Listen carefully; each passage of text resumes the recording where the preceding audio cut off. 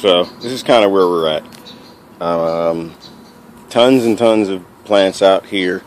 Got them on pallets. So this is the war on slugs and and uh, gosh, let me see. I got got a couple hundred uh, tomatoes in the ground. Have a couple hundred peppers in the ground, and about seven different garden plots and that one terrace system, and planted variously in various places around the house. But anyway, still what we have to go in the ground. That that probably what we have in the ground might be 20% of what we have. And all of this we got here. These guys roughly represent, I guess, just another another percentage. So I mean, I made definitely made a lot of progress. Made lots and lots of progress. But uh, these are the guys that are lined up to go in here, and then uh, uh, on the other side, I've got probably have three times uh, what I'm showing here. That's got to go in the ground. So that's going to be a lot of fun planting, but uh, way behind for season. Uh, there's an aquatic garden over there I'm working on. That's uh, for the koi pond and um, some business stuff I'm doing. I'll explain that to you guys later. But anyway, got to get all this stuff in the ground. Plant it really, really, really, really late. And um, when I'm selling seedlings, a lot of people ask the question. They say, "Well, you know, when when is it too late to plant?" When is it too late to plant? And to me, to be honest with you, it's never too late to plant. Uh, you know, if I can get a few fruit off of that vegetable, off of that plant, it's not too late. I'm going to go ahead and, and, get it planted. So, uh, to me, that's what it's worth. You know, I'm not a com- commercial farmer, commercial gardener per se. Um, I like a, a side income um, uh, from doing a lot of this, but uh, it's never too late to plant. So I'm always planting. Anyway, got the chipmunk. He's out here eating. And you know, and I used to be really, really upset when uh, I'd come out here and find the chipmunk or something's been preying on what I've been eating or what I want to eat. Uh, I think I had a tomato over here. The funny thing is, way over here, the chipmunk grabbed this tomato and ran way over here with it to eat it. Now, the funny thing is, I took a picture of this a little while ago, and while I'm standing out here, 30 feet away, he came out and took a few more bites of it. It's pretty funny, but those of you who know me from Facebook or wherever else, you'll know that uh, I had a real rough time with the groundhogs and the rabbits and the chipmunks last year. This year's a bit different. You know, I'll, I'll, I'll say that the hippie, the hippie gardeners taught me a few things, and, and, and they're right. You know, when you don't plant enough, you're going to be really worried anytime this stuff happens when you have more than enough in the ground or more than enough planted or ready to go in the ground, you're not so worried. You know, uh, it's my faith that man is a, a, steward of this planet and he's a steward of the animals on the planet. So, uh, in order for us to eat, we need to make sure that they eat as well. We need to understand at least that they're going to want to eat. And uh, instead of trying to kill them in every approach, um, you know, maybe culling is a part of that. But uh, needlessly killing them because we didn't plant enough, that's something totally different. No, a whole nother discussion. So anyway, I'm not so worried about this. I'm actually just going to leave that there. I'm going to let him go ahead and finish. Which is totally unfounded if you know me. But I'm changing. I'm trying to get smarter. And I'm not, this old dog is learning new tricks.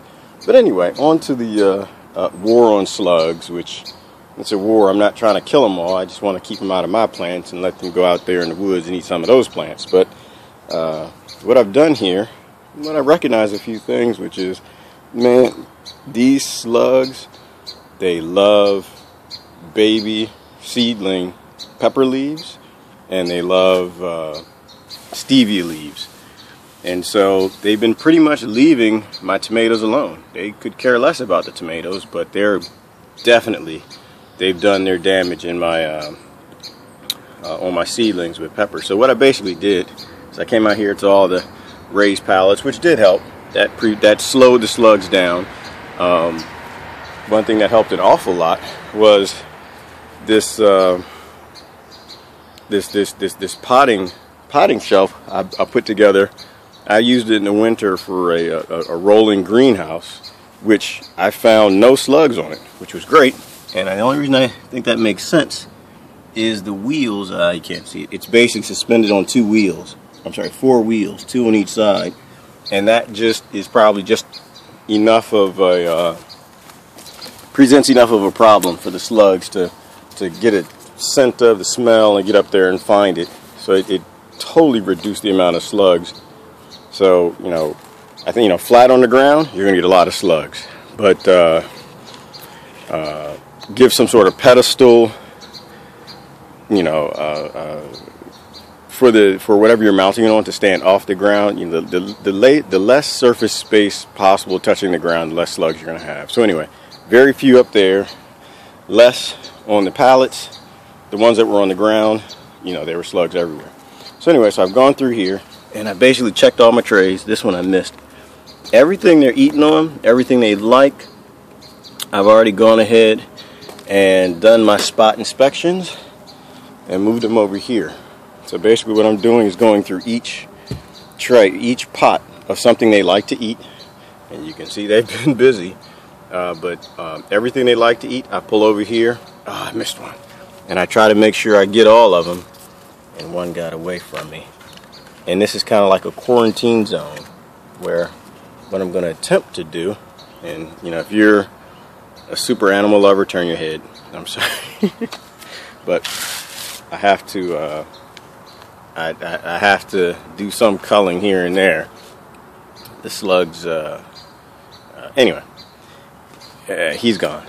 And I, would like to do that as little as possible. I'd rather them go in the woods, but uh, I have to encourage them and call them back sometimes because I've created an overpopulation of them because I've been obviously feeding the heck out of them. So, anyway. So I've been going through, pulling all the tomatoes, all the stevia, all the basil. That's the other one they love. They love basil as well. And I put them on my uh, mounted tray here. I'm not sure who I got the idea from. Someone on YouTube, which uh, made a whole lot of sense. Where basically, I've just got my pallet, four cinder blocks, and four trays. Fill the tray with water uh, or beer. And if, if, you're doing beer, you're fine. This might be a little more expensive to, to keep it, uh, to, to, upkeep it. Uh, water is it's a lot simpler. So I just put water in there and salt. Lots and lots of salt. So they don't like salt water. They'll stay out of the tray, which means they'll stay off the pedestal, which means they can't get up here on the pallet and eat my leaves. So I mean, really, all I need is a couple more weeks to get all this stuff in the ground which might run me up to the middle of summer, which it's okay. I think it's what the third day or second day of summer today. Um, I'm okay with that. You know, the bulk of what I wanted to plant's already in the ground. It's already going. I just gotta um, do something about these guys so they don't uh, just get destroyed. MPH Gardener Bobby said something real wise in one of his older videos. I think it had to do with uh, he was having trouble with some of his tomatoes, and they were eating. Uh, something was eating the bottom of the leaves, and you know, his point was, you know, you, you do something. Don't just stand back when your your uh, your garden's coming under attack. You know, do something. You know, because if you don't do something, you're going to lose it. If you do something, eh, you might actually reduce what the damage they do or stop the damage they do. So I'm doing something. And so for the next few weeks, this will be the uh, hiding area for the leaves they like to eat, and the rest I'll just put out here on the pallets as I bring them from uh, from the other yard over to here. So anyway, that's what I'm doing. We'll see how this goes, but just want to slow down the damage they do, and if I can just slow them down and uh, uh, give some of these, these basil and stevia and peppers a break, it'll be enough for these guys to come back, and they'll be back in the ground before the slugs figured out what I did. So anyway, that's what I did. Best way to do it, again, inspect each one. And you go over there, pull the tray up, pull the pot up, look on all four sides, turn it upside down, look underneath. You know, look in these little holes. They love hiding in the pots. And sometimes they'll hide here in the sides of the pots. So down here in the uh, between the soil and the uh, the plastic of the pot, they'll hide down there. I'm not looking in there. There's a little too much to do um, to do that. But you know, minimally, I'm making sure there's no major slug population going over to that platform and as long as I can do that, it'll give me the break or them them the break that they need so they can kind of recover a little bit so I can get them in the ground. That's what I'm doing. That's my latest in the war on slugs. Have a good day.